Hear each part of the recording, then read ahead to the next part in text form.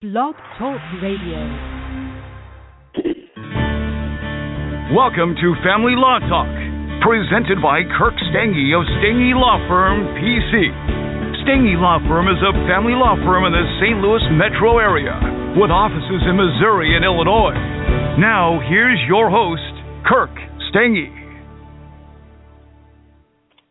Welcome to Family Law Talk. This is Kirk Stange, and today we have an exciting episode on Family Law Talk with Stange Law Firm. The topic is parental alienation, myth or monster. Today we've got a special guest with us today, uh, Dean Tong. Dean, you on the phone with me today? I am. Uh, thanks for having me. Absolutely. Well, thanks for coming on the show. We're going to get to the topic here in just a second, but I'll state, as I always do, that the choice of a lawyer is an important decision that should not be based solely upon advertisements, and that the information you obtain today is general in nature, and it may not apply to a specific factual or legal circumstance. Therefore, if you need legal advice, you should definitely consult an attorney who is licensed and competent to practice law in your specific jurisdiction.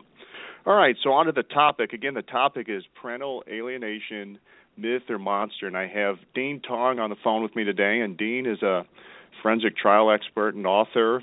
Um, so it's a pleasure to have you on the phone, sir. I appreciate you coming on. Thanks for having uh, me could again. you tell the listeners? Sure. Absolutely. Can you tell the tell the listeners what is parental alienation? Because a lot of folks probably don't understand what that is. Yeah, it's a very common uh, uh, phenomenon we see in high conflict divorces and parenting disputes and custody battles where one parent will berate or denigrate or vilify the other parent, uh, oftentimes in front of the child, to turn that child against the other parent. So it really is, in essence, counsel, a, a form of emotional, mental, or psychological child abuse, which uh, of course makes it relevant for this month, April, being National Child Abuse Awareness and Prevention Month. Who's usually the alienator and who's usually the target uh, of that well, alienation? That's, yeah, that's that's where the that's where the uh, the caption myth or monster comes in because oftentimes, of course, as you know, as as an attorney, uh, men and fathers are accused um, in high conflict divorces of child abuse, uh, oftentimes sexual abuse, which is my expertise. Um, and, and I'm not trying to gender bias this because it, it hits women and mothers as well. but oftentimes the you know the left side, um, the leftists will will say that you know fathers are are using this as a weapon or tool to falsely accuse protective mothers and good mothers um, in, in getting custody. And of course, um, uh, in my specialty, false or unfounded allegations of child sexual abuse within high conflict divorces and custody battles. Uh, you know, we only see about five percent of these allegations as being maliciously false. So most of the times when it's unfounded by DCF or DSS or DHS, whatever it's called in your state there in, in, in Missouri, the Show Me State, uh, the reality is uh, most of these are mistakes or are unfounded. There's another reason for why the kid is saying what he or she is saying, or or you know there's another plausible explanation for what's going on with the child other than other than uh, trauma or abuse. When is someone most likely to be victimized by parental alienation? I'm sorry. Yeah, when is someone most likely to be victimized by parental alienation? Well, oftentimes, um, you know, you'll see this coming, like I said, in a high conflict divorce or custody battle. Um, you may get hit with an ex parte, um, you know, order for protection from abuse. Uh, it'll hit you, uh, you know, like like a back door hits you. Uh, you won't see it coming, and uh, the timing is oftentimes a, a red flag as to whether it was made maliciously uh, as a tool to get custody of the kid or, or kids or, or not. So, um, you know, you have you have good faith allegations, you have bad faith or malicious allegations, you have unfounded allegations where, you know, perhaps the government, uh, the police, and and and I mean, child protection services are not conducting an objective, competent investigation. Uh, what we call in psychology source monitoring, and and like I say, uh, uh, you know, they they diagnose it as, as abuse, and and experts come in and say it's not. so uh, the problem with alienation is once the kids buy into the denigration or vilification of the accused, the targeted parent, uh, in time, the child actually believes what the alienating parent is, is saying about the other parent. So that's the problem. And and you know, in my caseload, I've been doing this for a long time. when the kid gets up to the adolescent teenager age, it's very hard to turn those kids around without re- reintegration, reunification therapy. You mentioned the timing, which I thought was uh, uh, which I thought was interesting. You said that sometimes the timing uh, at times can kind of red flag uh, a particular allegation. Uh, could you explain that in a little more detail? What you mean by that? Well, what I mean by that is if you have a docketed hearing uh, on a petition for order to show cause, or you know um, some type of evidentiary hearing coming up. Uh, where you're going to present witnesses, evidence, and testimony, and facts and data and science, maybe even experts, uh, to articulate your case. And all of a sudden, um, you know, a week before that hearing, bingo, your client gets hit with this ex parte protection order from abuse. Perhaps a mandated reporter called it in because the therapist was seeing the kid, or or or a doctor, a pediatrician, uh, or a dentist was seeing the kid and called it into the government, and that that kind of it just nullifies your hearing.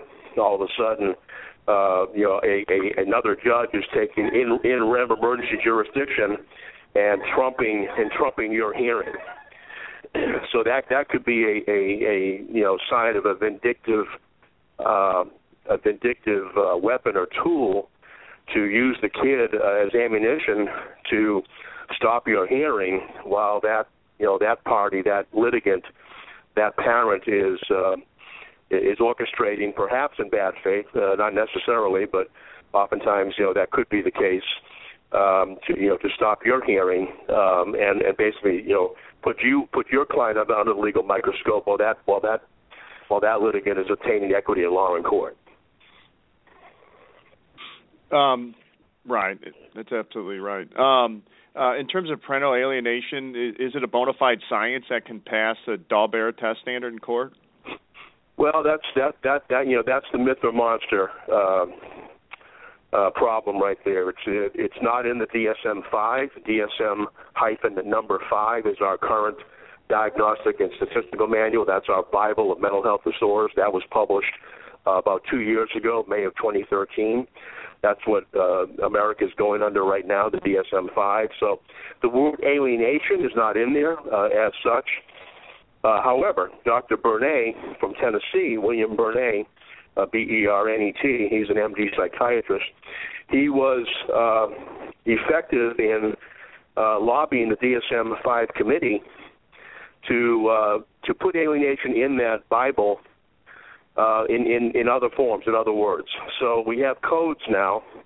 One is called parent-child relation, relational problem, uh, which is VL code 61.20.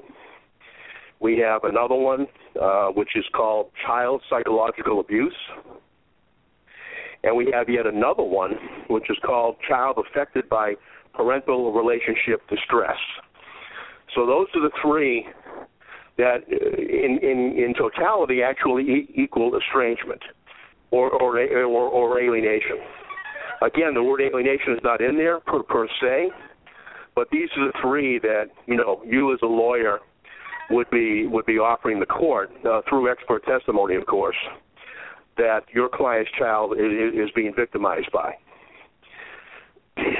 Now that may require you to file a motion for IME uh, you know, uh, psychiatric or psychological examination uh, of the entire uh, family, uh, global custody evaluation, or or of the child uh, at bar.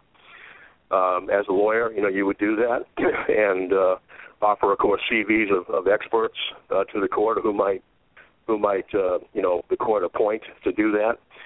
but now we have three actual diagnoses in the DSM that even though they're not alienation per se, uh, they pretty much go to the same to, to the same word. What what's the normal treatment for kids that have uh, uh, suffered damage from parental alienation? In other words, what what type of treatment or therapy can these kids get? Well, uh, it would be the same thing as as as other types of abuse. Um, when a therapist has seen a child who's been uh, a victim of abuse, or, or a child who has been um, treated as if uh, she's she he's been abused, but really hasn't been abused. Um, you know, a mistake, a false allegation. So, so in, in a child uh, under the age of uh, eight, say, the under the age of reason, uh, that would be play therapy. uh, and then you get into the older children, uh, the abstract independent thinking age, um, you know, 10 to 12, and then and then the adolescent range, the, the teeny boppers, uh, 13 to 17. Uh, they use they use what's called cognitive behavioral therapy, CBT. So there are two types. There's abuse focused and trauma focused, CBT. And of course, uh, it depends how how uh, bad off the kid has become as a result of the alienation. Is the child suffering psychosomatic signs and symptoms such as nausea, vomiting, headaches, stomach aches, bedwetting, um, other regressive behaviors, um, you know, rocking back and forth, thumb sucking, curling up in a fetal position. And, and I mean, it can get really bad. Post traumatic stress disorder, self mutilation, suicidal ideations. That's how bad this can get. We don't usually see the suicidal ideations or the, or the self mutilations of the kids. Uh, you know, you usually turn 14, 15, or 16. What, what type of success is there with with kids that have reached adolescent age who've been subjected to uh, parental alienation? not not good. Yeah, once once Dr. Gardner, who was a colleague of mine, who actually formulated uh, this theory uh, 30 years ago, back in the mid 80s, uh, he died about a decade ago. Richard Gardner, a psychiatrist from New Jersey, uh, actually coined this parental alienation syndrome.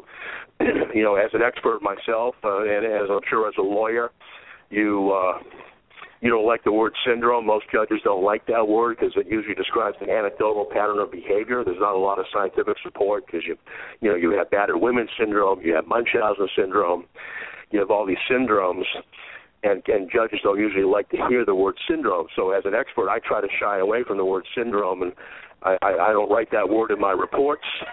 And when I'm testifying as an expert on the stand, you'll never hear the word syndrome coming out of my mouth uh, as far as uh, if I'm giving an opinion on a case. but um, the success rate once once the kid uh, has has hit what, what Dr. Gardner would call the severe stage, because there were three stages that he that he coined, uh, slight, moderate, and severe. Once they hit the severe stage, they're usually too far gone, and they just want they don't want to have anything to do with the targeted parent. So how does a parent spot it then before it gets to that severe stage? Are there different uh, yeah, things? I mean, red flag. Well, yeah, you gotta you gotta spot this early on. Um, usually by ages eight, nine, or ten. You know, uh, once they hit puberty, it can be uh, they you know it can be water over the bridge at that point, and, and, the kid could be too far gone. So, uh, you know, you're looking for those signs or symptoms I just alluded to you know, you're looking for uh, continual uh, uh, litigation. Dr. Gardner said that any case that went into extensive, protracted, contentious, high conflict litigation uh, that was never ending was was a sign of parental alienation. Well, you know, extremely litigious litigants uh, is is clearly a sign. Uh, vexatious litigant. So. Um, you know that that you know that's another issue uh, that you know that the attorney and the client, the other client, uh, the you know the, the targeted power would have to be privy to. But this is not often. This is not always the, the father or the male or the or the man who is the accused, who is the targeted parent. I, mean, I, I get clients that are mothers and women too, and you know now we get we get judges who believe moms falsely accused, uh, falsely accused dad of incest. Uh, the, you know moms who are accused of coaching and and they are now the targeted parents. So it's not always the, the men or fathers. Right. Um, when, when you use this word coaching, can you explain what that means? Because that's a that's some yeah. I mean that phrase is something that certainly yeah, I've seen a lot of cases. It's a word. It's a word, counselor, that's thrown around a lot um, in my in my practice. Obviously, I'm sure in yours too. Um, there's actually a page on my website which for your listening audience is abuse-excuse.com is my website, and then if you click on Dean Tong Dedicated, and there's a page Tong's Take on Coaching. So I actually devote an entire page on my website to coaching, what it is and what it isn't. So what it is is a premeditated, bad faith, malicious act. It's an act where a parent is taking a kid aside and educating, training, indoctrinating, conditioning, poisoning that kid to wrongly accuse the other parent. It's a malicious act. And in my state of Florida, under uh, under statute 39.205 subsection 9 it's it's actually a felony you can go to prison in my state now that we you know we're one of only a handful of states in America that make it a felony in most states I think Missouri included uh, it's a misdemeanor pretty much a slap on the wrist so there aren't too many deterrents from um, you know deterring a, a parent who would maliciously falsely accuse another parent of abuse um, on the what, other what hand, are the signs of coaching? Well, you get a you get a, a child who is uh, appears to be rehearsed or scripted. So when I'm looking at the DVD interview of the kid at the CPC, the Child Protection Center, uh, with with D, DCF or DSS or DHS, whatever it's called in your state, uh, I'm looking to see if the kid says, you know, mommy told me to say bad things about daddy. That would be consistent or tantamount with coaching. Um, you know, if a child is giving spontaneous, unrehearsed, unscripted, free recall, free narrative, free account uh, version of what what allegedly happened to the kid, without any coercion or influence, and and those statements appear to be reliable and trustworthy and valid, then that's probably, uh, if the child makes an outcry, that's probably a bona fide outcry. I was wondering if you could go into a little more detail on these on the stages of parental alienation. You alluded to it, but if you could explain to the listeners, you know, what these different stages are and, and how it looks like. Well, it, it escalates. Uh, you know that that's that's what Gardner found out in his studies, uh, where he where he tapped this slight, moderate, and severe.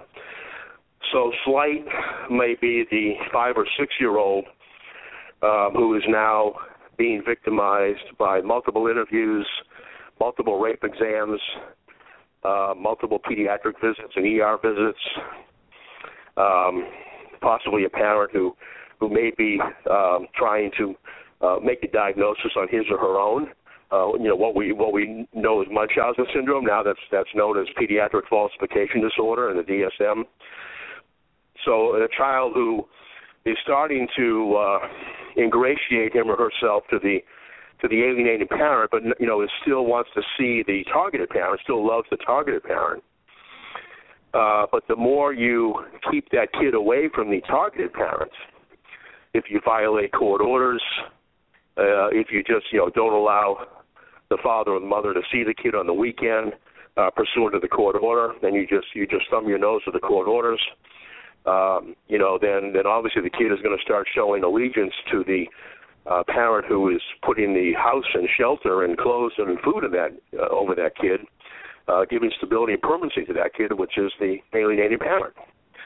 So basically, the child becomes a victim of false delusions and starts believing the projection and everything that's being fed to that kid through that parent. Perhaps a therapist has bought in uh, mother, maybe, you know, maybe the mother or father has unilaterally shopped the kid to a therapist to corroborate that parent's delusions, that the other parent is a bad parent, that has molested the kid or whatever. And then, of course, it escalates. The behaviors will escalate. The the signs, the symptoms, and trauma of the kid escalate. And now we get to the moderate stage, as Gardner referred to it. And then, of course, when the kid just doesn't want to see the targeted parent over multiple interviews, multiple therapy sessions, you know, indoctrination by the entire alienating family doesn't want to see the targeted family at all, including the grandparents, siblings, etc. Now you've got a huge problem. The court is clearly left with a conundrum. Uh, you know, what do I do to fix this problem in the best interest of the child? Because, as you know, as a as a litigator, that's the polar star. That's the litmus test. The best interest of the child trumps everything. So, you know, we we then have to uh, court appoint multiple experts. We have to get a uh, reunification slash reintegration therapist. We've got to we've got to get a parenting coordinator involved who is privy to the research by Dr. Richard Warshak, Dr. Amy Baker. Um, you know, all these experts who have written on parental alienation. Uh, Warshak's uh, book, which became a bestseller, is called Divorce Poison there's another good book by uh, Clawar and Rivlin uh, called Children Held Hostage.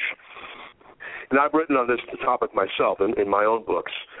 Um, so, you know, in my own books, it's, it's mentioned not as an entire book devoted to it, but I have a chapter devoted to parental alienation in my book, Elusive Innocence.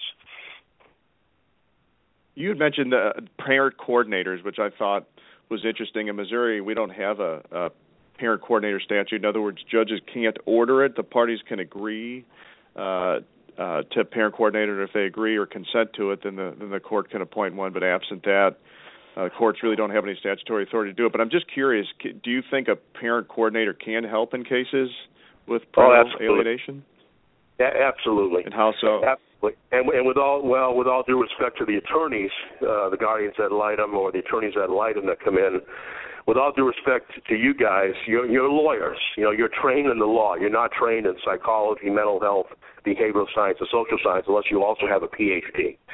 So the reality is, um, you know, you tend to protract out the litigation, and we don't need that. That's what Gardner said we don't need. What we do need are experts who, you know, who, who can who can hit this hammer this home of what it is, and and get a cathartic therapeutic remedy as quickly as possible, so that the signs and symptoms don't exacerbate with the child. So I find that parent coordinators in my state of Florida, other states such as Illinois, New Jersey, New York, California, they're all on the books. Uh, they're fantastic. They're, they're PhDs. They're published. They, they, you know, they know what's going on.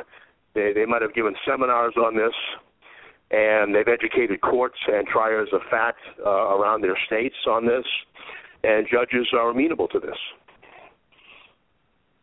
Do you think parent coordinators help keep folks out of court, keep the repeat motions and, and litigation uh, commencing? I, I do. Yeah, yeah, I do because of course the parent coordinator, uh, you know, like the custody evaluator, who's court appointed, has quasi judicial immunity will um, uh, ha- has the unilateral power of going back to the court and saying, you know, uh, Mr. Jones is not acting in, in, in his child's best interest, or Mrs. Jones is not acting in, in, in her child's best interest. I think we need to do this, judge. And of course, the the parent coordinator, just like the custody evaluator, would be the court's expert in the field. So that person can recommend whatever he or she wants to recommend and usually a court will abdicate to a rubber stamp uh, that you know that expert's recommendations. How do you tell between realistic estrangement and parental alienation? That to me has been uh, kind of a quandary in a lot of cases. I mean, there's some cases where I think out, of the gates, it's it's hard to tell the difference. It's hard to tell when there's real abuse going on uh, versus a situation where alienation has taken place. Well, I think I think you know again you got to have experts. I think you got to uh, you know you got to determine how how far has the case gone. Has the alienating parent gone to the point of um, perhaps trying to secret the kid so far away from the targeted parent that the alienated parent takes the kid interstate to another state, perhaps internationally. Um, it, you know, it gets that bad. You know, basically child abduction.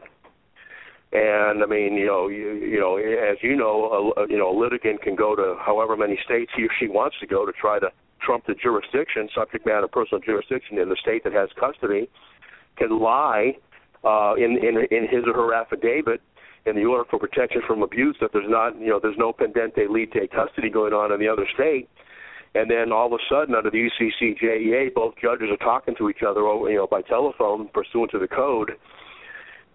Uh, but perhaps the attorney for the targeted parent doesn't file a notice of special appearance to to argue jurisdiction only.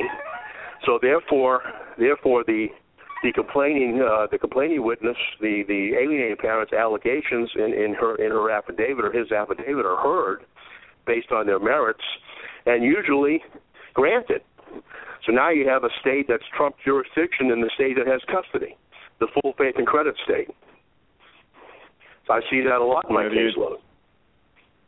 Right, the multi-state issue is definitely uh, definitely a big issue and obviously can increase the cost for the parties and make the litigation much more complex because now all of a sudden parties have to have uh, attorneys in, in presumably two different states representing them, which increases yeah, the cost. Yeah, and, yeah, I, you know, and, and and and you know, fortunately, you know, I've been I've been doing this uh, I've been doing this uh, for 30 years professionally for 20 years in my practice and my work, and I've been hired in cases from all 50 states. So I'm kind of a unique guy, and then I have contacts from all 50 states.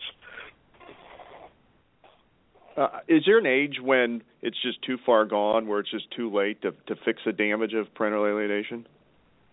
Yeah, yeah. I'm just going to throw this out there. Uh, at 15, 15 has been like the real um, obstacle age uh, in my practice. that once once the kid gets gets to that age, uh, even if the targeted parent's attorney files a petition for in-camera interview and the kid is interviewed in chambers by the judge, the, the child is so ingratiated and enmeshed to the alienated parent that kid just wants nothing to do with the targeted parent. So it really doesn't matter what the targeted parent's attorney does. Um, it, it, it's a lost cause. You might as well just so, wait so what the courts do in situations? What's that? So so what so what are courts to do in those situations where it's a child? Because I've certainly seen that you got a child Oh, 15 yeah, plus, yeah, and they've clearly been alienated. I mean, you know, as you know, as you know, a child's in-camera testimony is is pretty much the the the number one criteria uh, when when that's listened to and heard. So, child doesn't want to see targeted parent. That's pretty much game set match. So, I mean, targeted targeted parent is going to wait till the kid emancipates or reaches the age of majority. So, so not a good idea then to to force visits with uh, with the other parent if the child's 15 plus. I mean that, uh, in your opinion, that wouldn't be the thing to do in most of these cases. Well, you know, I, I, I, I obviously advocate and lobby for visitation, and I'm not just talking Skype and over the internet. You've got to have that personal attachment theory, very, very important, uh, where where dad or, or mom and child see each other, uh, whoever the targeted parent is. But but the reality is, um, as far as as far as how it works, uh, it's a very slippery slope, and you know, um, you know, uh, a judge may order might order supervised. Uh, in my state, it's no longer called custody or visitation. In my state, it's called time sharing here in Florida. Uh, but I mean, you know, a judge may order supervised visitation, and you've got to have a, a, a visitation supervisor who's going to be an objective third party. And of course, that person's uh, memorialized notes are going to be important for future uh, litigation purposes. If if it looks like the uh, you know alienated parent is whispering um, signs or codes to the child, if they have some type of code system encrypted, uh, I've seen that in cases. Um, you know, it, it gets that bad. Is uh, parental alienation universally accepted by most courts? No, no, it's usually uh, jurisdiction state specific. Um, and and you know the fact that it's not in the DSM-5 as parental alienation right there is objectionable.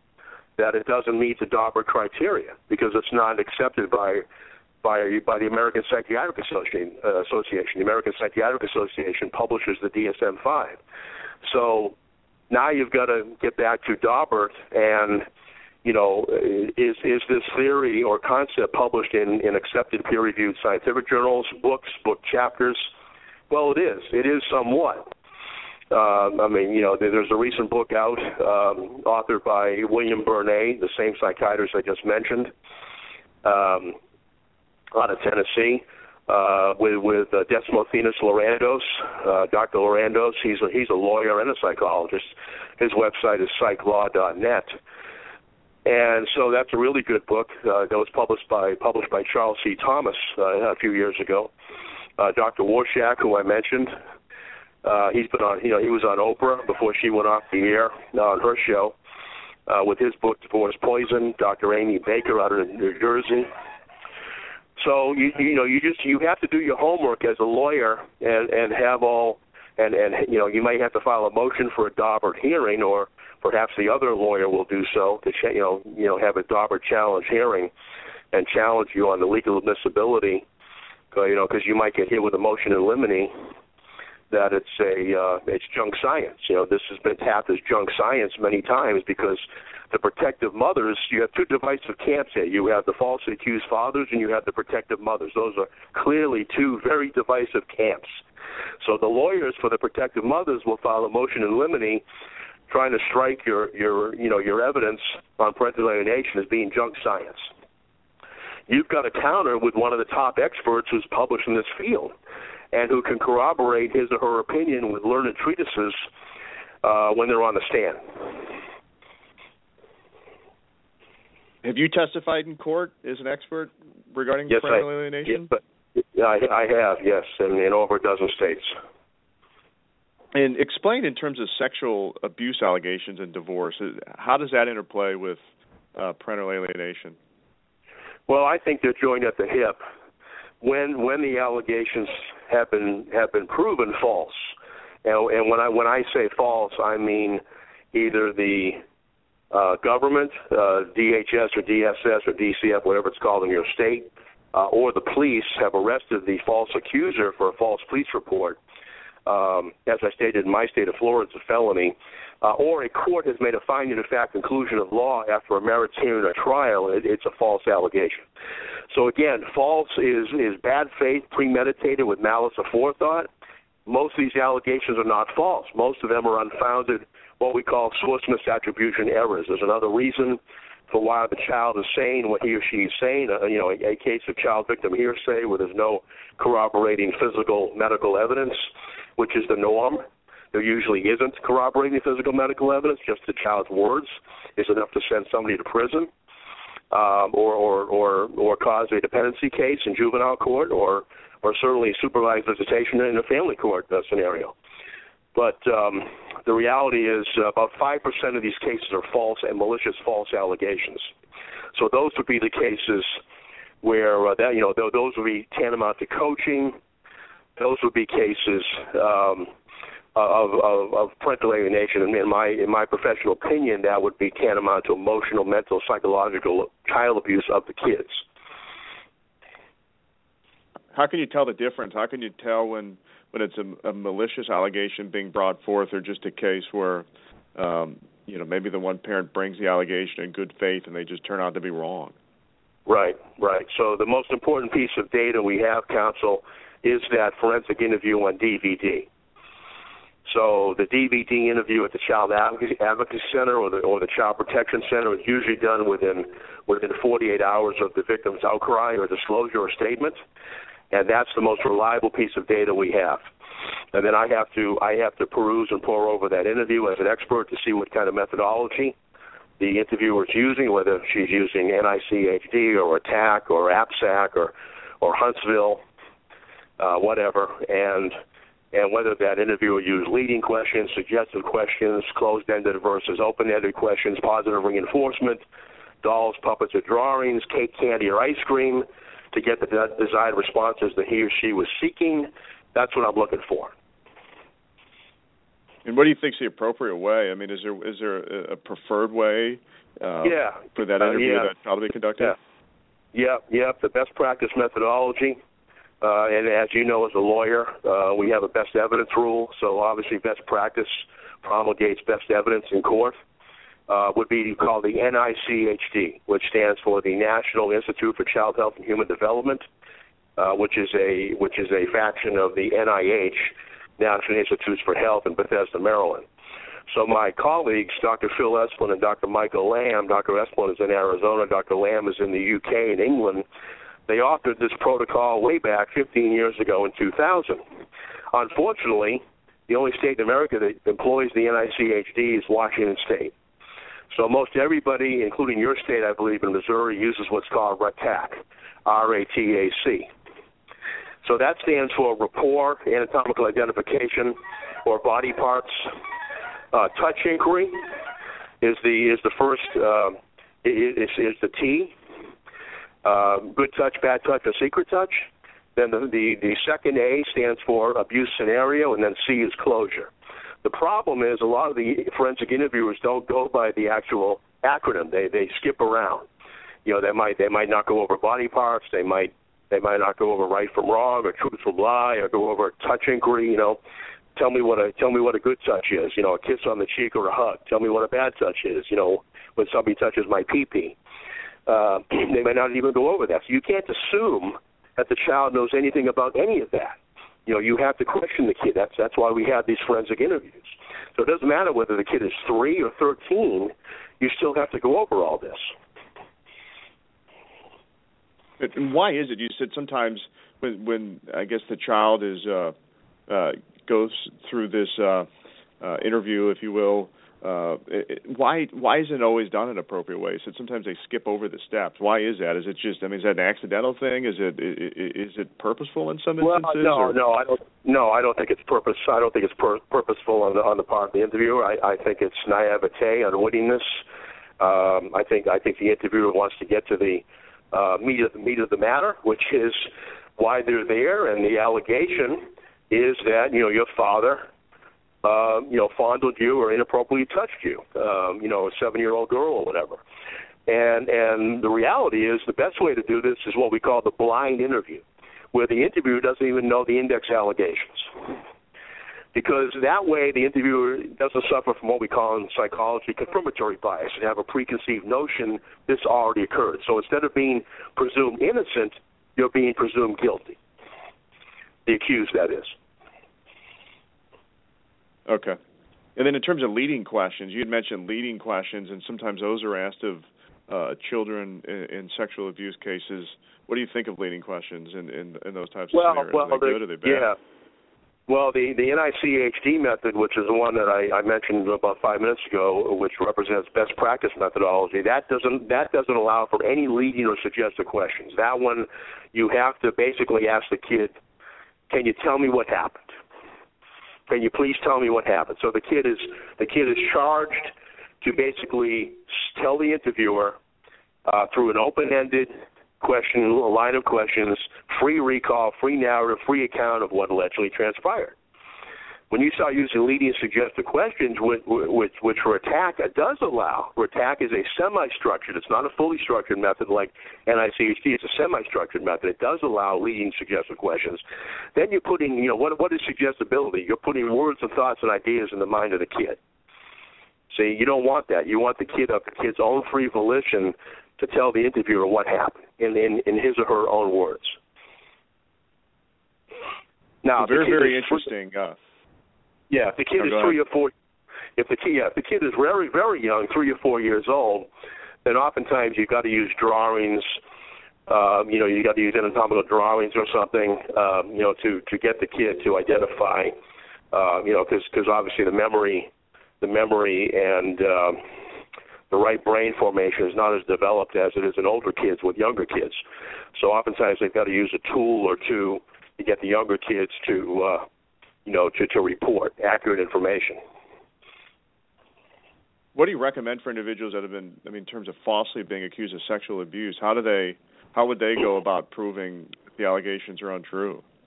Well, not trying to sell my services here, but uh, clearly my website is approaching 900,000 hits. That's the population of a major U.S. city.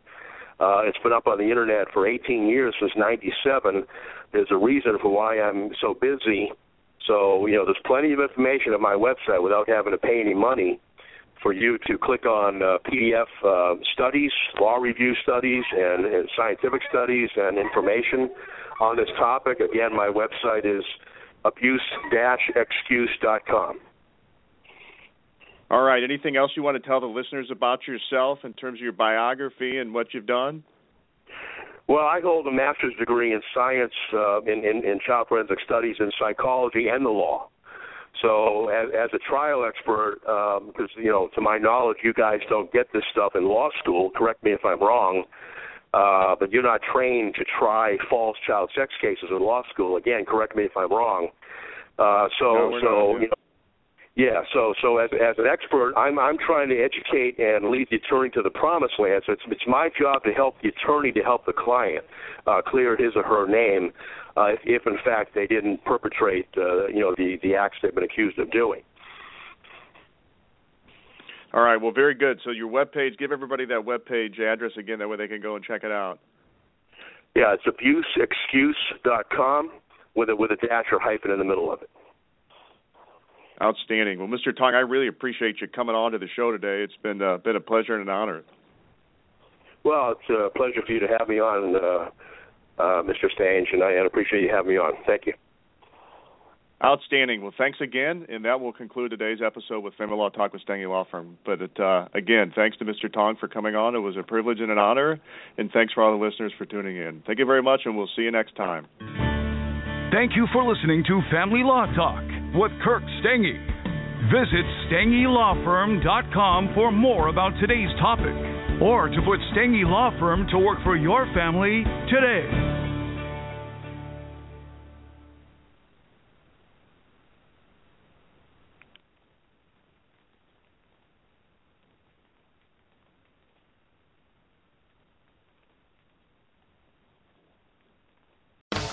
Treat your party host with a Hy-Vee party tray. From meat, cheese, and charcuterie boards to shrimp and seafood trays and everything in between. Hy-Vee has the perfect signature platter to make your event extra special. And make sure to check out the chicken wing trays if you want a real crowd pleaser. Shop in store or online at hy-vee.com. That's hy-vee.com. The holidays start here at Baker's with a variety of options to celebrate traditions old and new. You could do a classic herb roasted turkey or spice it up and make turkey tacos. Serve up a go to shrimp cocktail or use Simple Truth wild caught shrimp for your first Cajun risotto. Make creamy mac and cheese or a spinach artichoke fondue from our selection of Murray's cheese. No matter how you shop, Baker's has all the freshest ingredients to embrace all your holiday traditions. Baker's, fresh for everyone.